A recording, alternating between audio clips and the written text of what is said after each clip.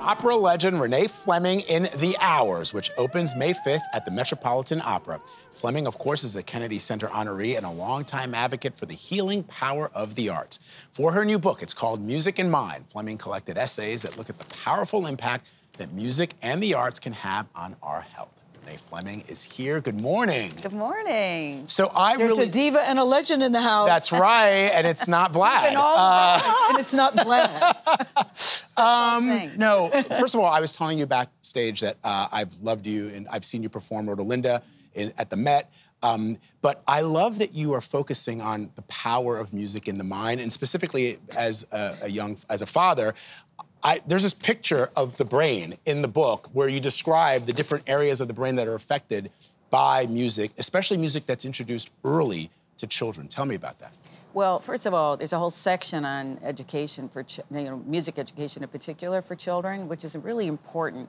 Uh, but the neuroanatomy anatomy piece from Dan Levitin, that chapter in the beginning, helps really explain to us what the circuitry is in the brain. That's the reason why scientists are studying music because it's it grabs the entire brain more than any other activity because engaging with music is incredibly complex. You have to hear. You have you have this. Uh, you you have all this processing, language processing. Um, it's it time, space.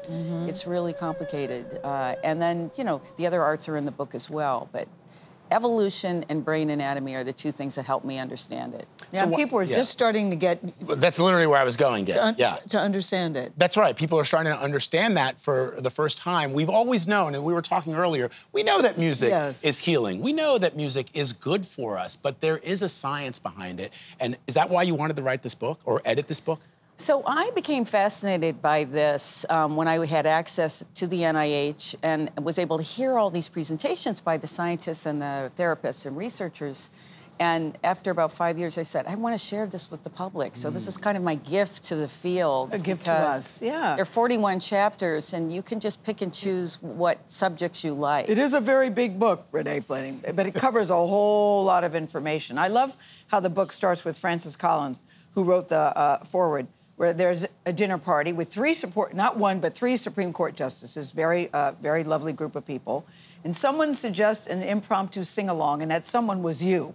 Is that? do you often do that at dinner parties? What is your thinking with that? Because I love the idea of this. Well, you know, first of all, this was such an important dinner party, and I, what I said what was Francis had his guitar, and now I know he brings his guitar to everything, and so I yeah, Sounds I like said, Vlad. Let me sing with you, you know, because it was a little tense. It was the week of the marriage equality decision, so the justices weren't particularly engaging with each other that night, uh-huh. but then they did after we all sang together. But what was your thinking when you did that?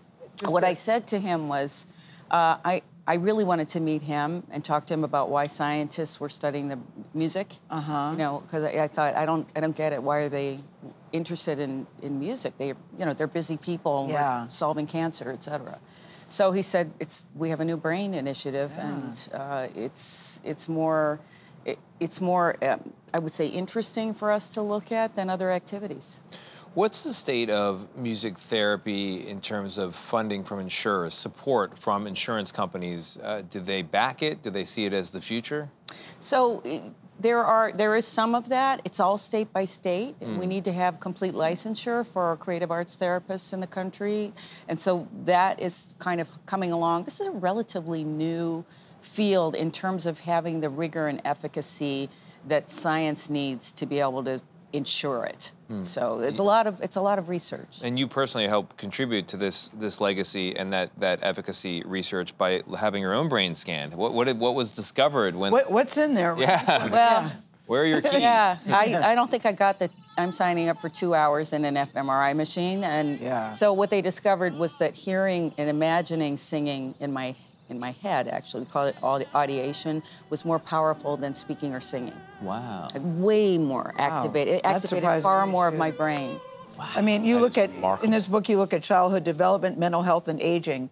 What's the biggest takeaway for you? What do you want readers to get out of this? I know we can pick and choose, but what do you want? to get Yeah, of? I mean, there are so many surprises. Like I didn't know that that this would be singing is great for cardiovascular health.